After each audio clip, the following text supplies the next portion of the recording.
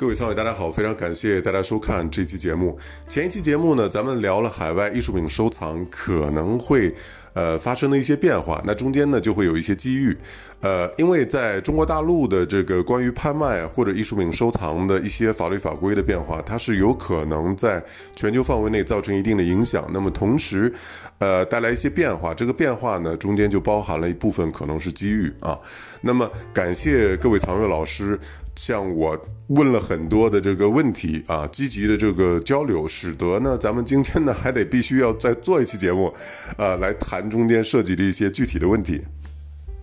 那么，首先第一个问题呢，就是关于回流。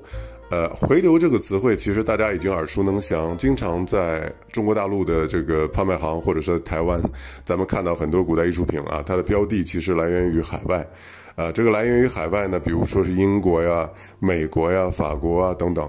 呃，大家觉得这都非常正常，因为这是回流嘛。另外呢，像这种物品呢，因为都是老的东西，那么呃，都是私人财产啊，都是嗯，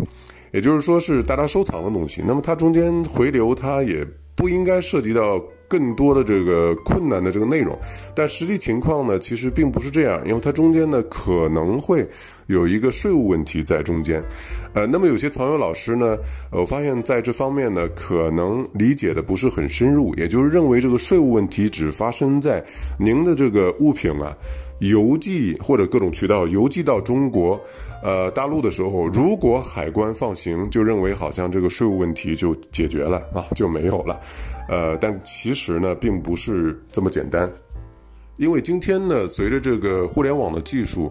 呃，和大数据、人工智能，使得这个相关的监管部门呢，它也在跟踪这个海外或者说全球艺术品市场出现的这些标的。那么，当这些物品，比如说六个月以前出现在海外，六个月之后出现在了中国大陆的拍卖行，那么拍卖行呢，它需要说明这些物品的来源啊，这个物品不能是出土的，那么这个物品的来源必须是很干净的。那么这个时候呢，呃，如果说他们不去提这件事情，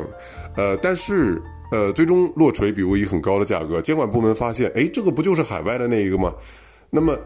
这个时候可能就会遇到麻烦，也就是说，这个这个税务问题并不仅仅发生在这个物流的这个环节，它其实是一个全过程的一个追踪啊。那么可能过去呢对这件事情呢并不计较，因为毕竟古代艺术品收藏其实主要是私人，都是一些私人物品。那么就像您搬家，如果从海外搬回中国大陆的话，您把家里所有的物品都一起通过集装箱。运回去的话，那么这是您私人财产，那么它是没有什么税务问题在里面。但是呢，因为今天这个艺术品交易它是一个交易，那么这个时候监管部门它在不断的完善的时候，它在组建这个数据库的时候，这个时候它在跟踪，呃，近些年的这个海外艺术品市场这些标的的成交价格，它也看着国内艺术品市场的这些标的最终成交价格，那么这个时候其实就可能出现这个问题了。那么所以大家呃要意识到，就是它不是仅仅。是一个物流环节这么一个问题。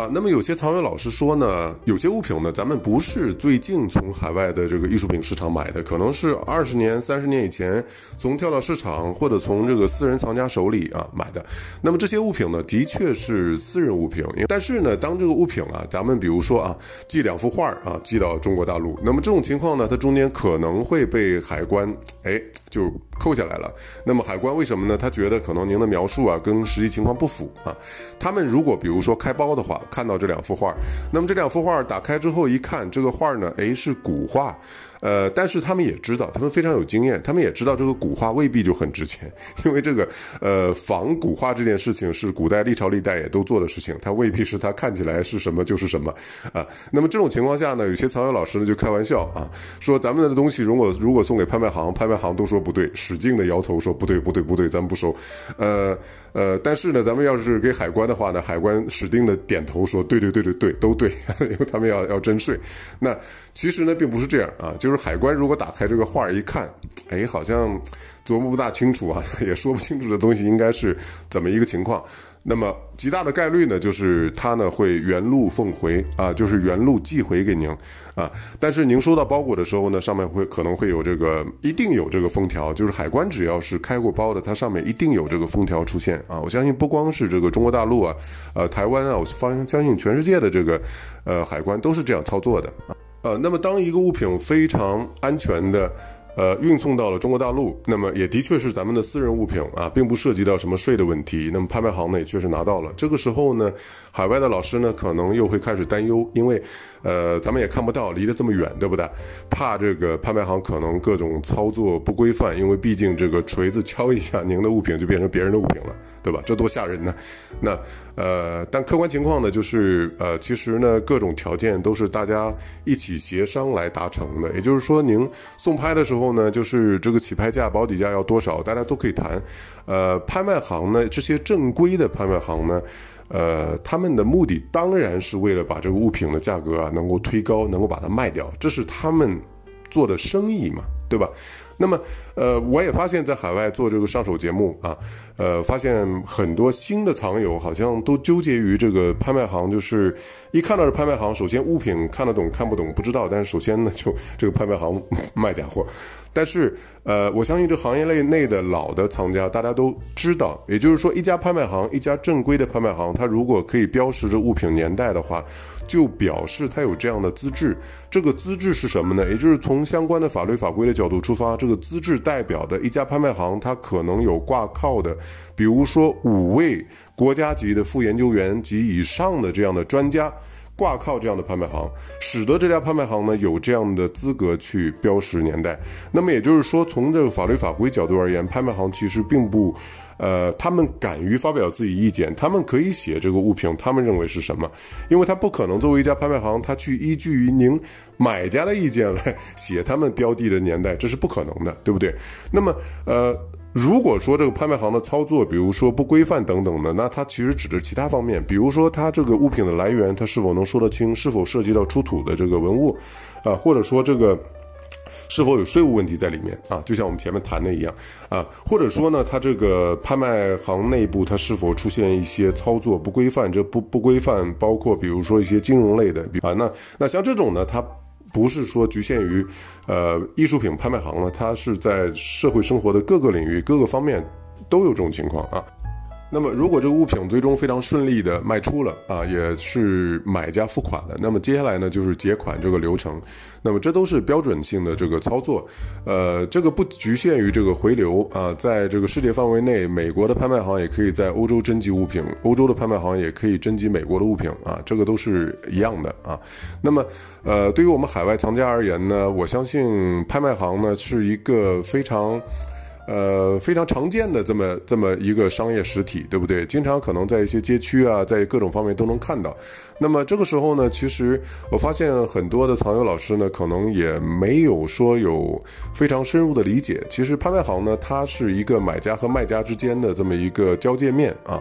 呃，那么呃，对于我们而言，其实我们不仅是关心一家拍卖行它下一期有哪些拍品，其实呢。更重要的是，这个拍卖行如果说他专门从事亚洲艺术品拍卖的话，那么大家可以想见，他手上一定有大量的呃资源，也就是有大量的周边或者一些很多的中国艺术品收藏的藏家啊，围绕着这个拍卖行。那么这个时候，其实呃，我觉得呃，它可以极大的扩充或者丰富我们收藏的这个渠道。呃，如果我们比如说看到一家拍卖行，我们第一反应是，哎，我们去把自己家里东西卖掉啊。那么同时呢，可能有些藏家可能也想，哎，那我们是有机会去把别人的这个物品买来啊。那么的确，呃，这是拍卖行的一个功能。呃，但是呢，如果大家经常去这家拍卖行买东西的话，我相信很自然的和拍卖行的这些工作人员或者说老板会发展成朋友。那么这个时候啊，呃，其实大家就会意识到。呃，拍卖行做这个线上的拍卖只是它的一部分的这工作，那中间可能还有很大部分是线下，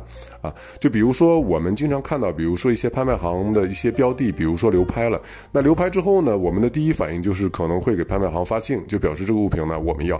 那么这个时候啊，呃，最终的结果可能就是对方报来一个固定的价格，然后呢我们。想买或者不买啊，那么这个时候呢，他可能就是这个感受啊、体验，其实就相当于到商店买东西是一样的啊。也就是说，拍卖行在拍卖的时候，它遵守的是拍卖的这个相关的规章法规。那么在线下卖的时候呢，这个时候呢，其实就是以作为商店的这个呃法规啊，在卖这东西，其实背后都有相关的这法律法规的支持在那边。那么除此之外呢，呃，大家也要意识到，就是有很多老的藏家，他未必。是都想把自己的东西以一种公开的方式拍卖的啊。他们呢，可能也是和这些拍卖行的这些老师呢，彼此是很好的私人关系。比如说啊，呃，我手上有这样的一系列的藏品，我希望能够帮忙找到非常呃。靠谱的、非常妥善的这个呃藏家能够接手，那么这个时候呢，可能这些受委托的这些拍卖行的这些呃工作人员呢，就能够在他们这个资资源里找到相关的这样的感兴趣的藏家，啊，那么来促成啊把这些物品非常妥善的从一双手交到另外一双手上。啊，这件事情，那么，呃，这种情况其实也很常见。所以说，我们去拍卖行不仅是关注他下一场拍卖拍卖什么标的，而是通过他的拍卖的图录呢，其实也能看出这个拍卖行它背后的这个网络，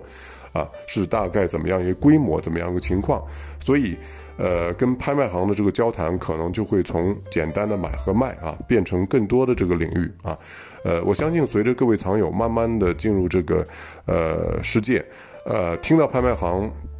不是说第一反应就是，呃，卖的东西对与不对，而是有一个更加丰富的这么一个